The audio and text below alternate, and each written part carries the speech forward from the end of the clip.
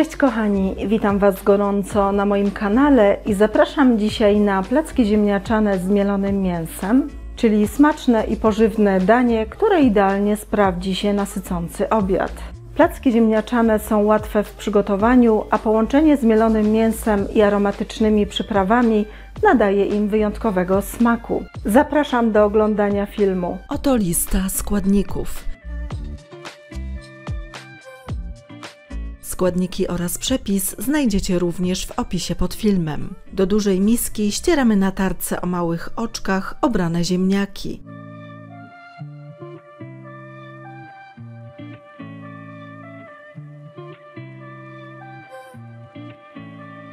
Do tej samej miski ścieramy na tarce o średnich oczkach obraną cebulę.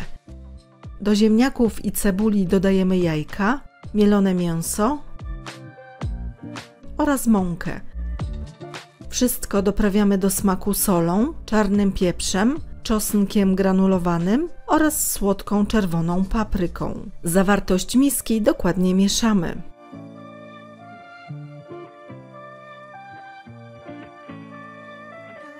Na patelni z rozgrzanym olejem smażymy niewielkie placki z obu stron na złoty kolor.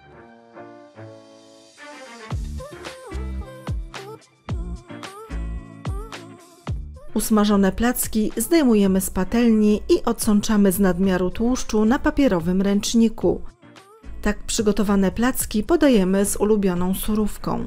Dziękuję serdecznie za uwagę. Zapraszam do subskrybowania mojego kanału i kliknięcia w dzwoneczek. Dzięki temu nie przegapicie kolejnego odcinka. Po więcej pysznych przepisów zapraszam również na stronę smakowitedania.com.